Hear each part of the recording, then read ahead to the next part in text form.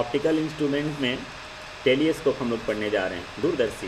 दूरदर्शी क्या है? टेलीस्कोप इसका डिफिनेशन लिखो and optical instrument which is to see distant object clearly is called telescope वैसा प्रकाश यंत्र जिसका उपयोग दूरस्थ स्थित वस्तु को स्पष्ट रूप से देखने में किया जाता है, उसे दूरदर्शी कहते हैं। दूरदर्शी को दो भाग में डिवाइड किया गया रिफ्रैक्टिंग टेलीस्कोप और एक है reflecting telescope which is based on principle of refraction of light is called refracting telescope वैसा प्रकाश यंत्र जिसका उपयोग सॉरी वैसा प्रकाशीय यंत्र जो प्रकाश का अपवर्तन के सिद्धांत पर आधारित है, या वैसा दूरदर्शी जो प्रकाश के अपवर्तन के सिद्धांत पर आधारित है, उसे अपवर्तन दूरदर्शी कहते हैं, और reflecting telescope which is based on principle of reflection of light is called reflecting के लिए टेलीस्कोप और वैसा दूरदर्शी जो प्रकाश के प्रवर्तन के सिद्धांत पर आधारित है, उसे हम परावर्तक दूरदर्शी कहते हैं। आपके सिलेबस में तीन को पढ़ना है एस्ट्रोनॉमिकल टेलीस्कोप खगोलीय दूरदर्शी टेलिस्टेट टेलीस्कोप पार्थिव दूरदर्शी, और गैलीलियन टेलीस्कोप गैलीलियो का दूरदर्शी, और तीनों का तीनों जो है रिफ्लेक्टिंग रिफ्लेक्टिंग टेलीस्कोप पर आधारित है।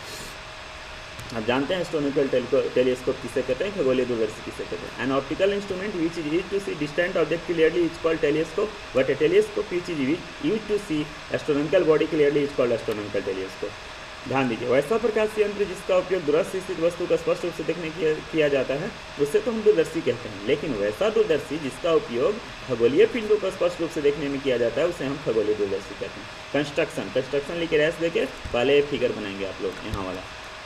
इस फिगर को गौर से देखिए। ये आपका ऑब्जेक्ट लेंस है और ये आपका यहाँ पर आई लेंस है। ऑब्जेक्ट लेंस बड़ा है देख लीजिए फोकल लेंथ एंड अपर्चर इसका बड़ा है, इसका फोकल लेंथ अपर्चर छोटा है। क्योंकि इसका व्यू जो होता है रेंज ऑफ़ व्यू बड़ा होता है। पैरल बीम ऑफ़ लाइट दूर है वस्तु तो पैरल बीम ऑफ़ लाइट आएगी तो ये प्रकाश किरण यहाँ अपवर्तन होकर कट गया फ़र्स्ट इमेज बना, लेकिन आई लेंस के लिए काल्पनिक वस्तु की तरह व्यवहार कर रहा पुनः आई लेंस अपवर्तन के बाद final image A one B बना। ध्यान दीजिए, नेत्र के लिए प्रतिबिंब की दूरा बना कोड बीटा है और नेत्र के लिए वस्तु दूरा बना कोड कौन? है अल्फ़ा है। ओ और ई के बीच की दूरी को नली की लंबाई या दूरदर्शी सिग्नल की लंबाई कहते हैं फिगर में जब ज़रूरी होगा, हम लोग देखते रहेंगे। अब यहाँ ध्यान दीजिए कंस्ट्रक्शन पर।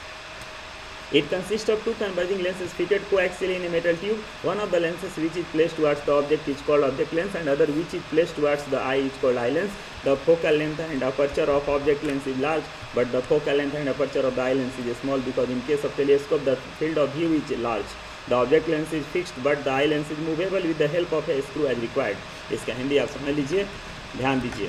स्पष्ट कहिएगा, खगोलीय दूरदर्शी एक धातु की नली में दो अभिसारी लेंसों को एक ही मुख्य अक्ष पर व्यवस्थित करके बनाया जाता है। जो लेंस वस्तु की ओर होता है, उसे हम अभिदृश्यक लेंस कहते हैं, लेकिन जो लेंस नेत्र की ओर होता है, उसे हम नेत्रिका लेंस या नेत्र लेंस कहते हैं। अभिदृश्यक लेंस की फोकस दूरी द्वारक छोटा होता है लेकिन सॉरी, बड़ा होता है, बहुत बड़ा होता है, लेकिन नेत्र लेंस की फोकस दूरी द्वारक छोटा होता है। क्योंकि दूरदर्शी की स्थिति में दृष्टि क्षेत्र बहुत बड़ा होता है। अब दृश्यक लेंस को एक बिंदु पर नियत रखा जाता है, लेकिन नेत्र लेंस को स्क्रू की सहायता से आगे पीछे से खिसकाया जा सकता है। फिगर हम लोग बना चुके हैं। अब सीधे वर्किंग लिख के डैश देंगे और वर्किंग लिख के डैश दे करके यहाँ पर लिखेंगे। Consider O and E represents optical centre of object lens and eye lens of and optical telescope astronomical telescope. Since telescope is used to see distant object clearly, therefore let us suppose a parallel beam of light coming from distant object is incident on the on the object lens making a small angle alpha with common principal axis due to refraction through the object lens real inverted and a smaller image of distant object is formed at the which behaves as virtual object for eye lens. Now the eye lens is adjusted such that AB lies on the focus of the eye lens therefore final image is formed at infinity. This adjustment of telescope is called foxing for normal vision but the eye lens is adjusted such that the AB lies between focus and optical center of eye lens virtual erect and magnified image of AB is formed at LDDB. This adjustment of telescope is called foxing for distinct vision. इसका हिंदी समझ लेते हैं मान लिया कि खगोलीय दूरदर्शी का अभिदृश्य क्रम नेत्र लेंस का प्रकाश केंद्र क्रमश ओ और ई है क्योंकि दूरदर्शी का उपयोग दूरस्थ स्थित वस्तुओं को स्पष्ट रूप से देखने में किया जाता है, इसलिए मान लिया कि दूरस्थ स्थित वस्तु से आ रही समानांतर प्रकाश की किरणें ओवेनिस्ट मुख्य अक्ष के साथ अल्फ़ा कोण पर आपतित होती है और अभिदृश्यक लेंस अपवर्तन के बाद दूरस्थ स्थित वस्तु का प्रतिबिंब वास्तविक उल्टा एवं वस्तु के तुलना में बहुत छोटा बनता है। आप ध्यान दीजिए, बिंदु बी पर बनता है, जो नेत्र लेंस के लिए काल्पनिक वस्तु की तरह व्यवहार करता है। ध्यान दीजिएगा, यहाँ पर मैं लिखा हूँ फिर। नाउ तो अब नेत्र लेंस को इस तरह से व्यवस्थित किया जाए। कि प्राप्त प्रतिबिंब जो ए बी है, वो नेत्र लेंस के फोकस पर स्थित हो जाए, ताकि अंतिम प्रतिबिंब अनंत पर बन जाए और दूरदर्शी की इस व्यवस्था को ही सामान्य दृष्टि के लिए फोक्सित या समायोजन कहा जाता है। लेकिन अब पुनः नेत्र लेंस को इस तरह से व्यवस्थित किया जाए कि जो ए बी प्रतिबिंब प्राप्त हुआ है, वो नेत्र लेंस के फोकस और प्रकाश केंद्र के बीच स्थित हो जाए, ताकि प्रतिबिंब काल्पनिक, सीधा और आवर्धित बन जाए, अतः और स्पर्श दर्शन की न्यूनतम दूरी पर बन जाए, इससे दूरदर्शी की इस व्यवस्था को ही स्पर्श दर्शन की न्यूनतम दूरी के लिए फोक्सित कहा जाता है। मैग्नीफाइंग और बिल्कुल उसी तरह से एम बराबर angle subtended by final image to E angle subtended by object to E वही नेत्र के लिए अंतिम प्रतिबिंब के द्वारा बना कोड बटा नेत्र के लिए वस्तु के द्वारा बना कोड। चूँकि दूरदर्शी का उपयोग दूरस्थ वस्तु को स्पष्ट रूप से देखने में किया जाता है, इसलिए मैंने यहाँ लिख दिया हूँ। ध्यान दीजिएगा कि ऑब्जेक्ट लेंस के लिए वस्तु के द्वारा बना कोड और यहाँ आई लेंस के लिए वस्तु के द्वारा बना कोड दोनों बराबर होगा क्योंकि जैसे कि मान लीजिए सूरज को आप देख रहे हैं, तिलौतू से देखिए, चंद्रपुरी से देखिए, लगभग एंगल सेम बनेगा। बहुत दूर है सूरज इसलिए। अब इसलिए यहाँ देखिए एम बराबर angle subtended final image to E यहाँ भी लिख दिया angle subtended by object to O M बराबर beta B alpha tan beta by tan alpha यहाँ देखिए ए बी बटा में बी ई यहाँ ए बी बटा में ओ बी यहाँ फिगर में आप देख सकते हैं स्पष्ट फिगर टेन बीटा लगेगा तो लंब बटा में आधार। तो लंब ए वन बी वन होगा। लंब ए वन बी वन होगा। और यहाँ पर अल्फ़ा लगाइएगा तो लंब का काम कौन करेगा ए बी लेकिन ए वन बी वन मैंने नहीं लिखा है। Direct A B A B लिखा है, क्योंकि दोनों का एंगल समान हो गया है। और एक जगह बी लिखा है, एक जगह ओ भी लिखा है। फिगर में देख लीजिए। एक जगह यहाँ से यहाँ बी नापे हैं और एक जगह नापे हैं ओ से लेकर के कहाँ तक बी तक। तो बी, ओ बी तो ठीक है, ए वन, बी वन और ए बी एक ही सेम लिखा है। यहाँ पर देख लीजिए, बी, ओ बी लिखा हो। A, B A B cancel हो गया तो एम बराबर क्या हो गया, ओ बी बटा में बी। अब नली की लंबाई जोड़ देना होता है दोनों के बीच की दूरी को। तो वही बराबर, कुल दूरी वही है तो वही को क्या लिख सकते हैं? ओ बी प्लस बी जोड़ दीजिए, वही आ जाएगा। अब केस फ़र्स्ट में आ जाइए। केस फ़र्स्ट में आ जाइए when object is at infinity and image is also at infinity जब वस्तु अनंत पर है और प्रतिबिंब भी अनंत पर है, कब अनंत पर होगा? जब वस्तु भी रखा जाएगा फोकस पर ऑब्जेक्ट लेंस के। और प्रतिबिंब भी कहाँ बनेगा? कहाँ बनेगा? अनंत रहेगा जब वस्तु सॉरी वस्तु अनंत रहेगा तो प्रतिबिंब कहाँ बनेगा फोकस पर इसलिए वो भी बराबर एफ़ ले लिया। और जब यहाँ फोकस पर रखिएगा तो ना प्रतिबिंब अनंत बनेगा, इसलिए बी बराबर एफ़ ले लिया।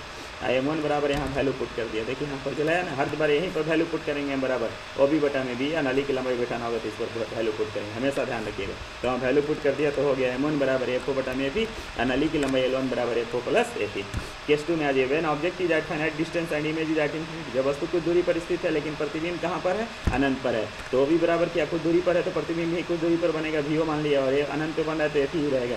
तो फिर वैल्यू पुट कर दिया वहीं पर जहाँ बताया था। एन टू बराबर भी हो बटा में एफ़ एल टू बराबर भी हो प्लस एफ़ और केस तीसरा है when object is at finite distance and image is at L D जब वस्तु कुछ दूरी पर स्थित हो और प्रतिबिंब कहाँ पर हो, स्पर्श स्थान की न्यूनतम दूरी पर। कुछ दूरी पर हो तो प्रतिबिंब भी कुछ दूरी पर बनेगा भी हो लेकिन प्रतिबिंब भी यहाँ पर फाइनल बन रहा है एल डी बी पर तो बी बराबर ई कुछ दूरी पर रखेंगे, तब पच्चीस पर बनेगा, पच्चीस सेंटीमीटर में फिर वैल्यू वहीं पुट कर दिया तो वी ओ बटा में ई हो गया, जोड़ दिया इसको तो वी प्लस ई वी हो गया। अब यहाँ ध्यान दीजिए केस फोर एंड लास्ट है, जो कि सबसे इंपॉर्टेंट है, सबसे फ़ायदेमंद है मैक्सिमम मैग्निफिकेशन गेट है। When object is at infinity and image is at L D जब वस्तु अनंत पर हो और प्रतिबिंब कहाँ पर बने? स्पष्ट संगीन दूरी पर। इसी का इस्तेमाल हम लोग अपने व्यवहार में करते हैं। हम लोग ज़रूर चाहते हैं चाँद सूरज को हम पास से देखें। तो चाँद सूरज अनंत पर हो गया और पास मतलब एल भी तो वो भी बराबर क्या हो गया? एफ़ ओ वस्तु कहाँ पर?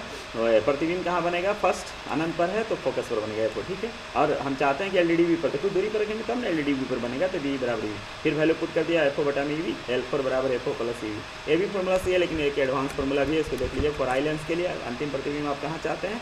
स्पष्ट दर्शन की न्यूनतम दूरी तो भी बराबर डी हो गया। फॉर्मूला लगा दीजिए लेंस फॉर्मूला इतना हो गया। भी की जगह इतना बैठा दिया। दोनों तरफ़ डी से गुना करने के लिए आपको आदत है यहाँ पर। तो नहीं, मैंने डी से गुना नहीं किया। अब इसको जो कहते हैं, छोड़ दिया, इधर माइनस बिठा, इधर के प्लस में कर दिया। एम फोर बराबर फार्मूला देख लीजिए हाँ। क्या है? एफ़ ओ यहाँ देखिए फार्मूला लाए थे हम। एफ़ ओ बटा में ई वी एफ़ ओ बटा में ई वी एफ़ ओ के एफ़ ओ जो कहते हैं, लिख दिया।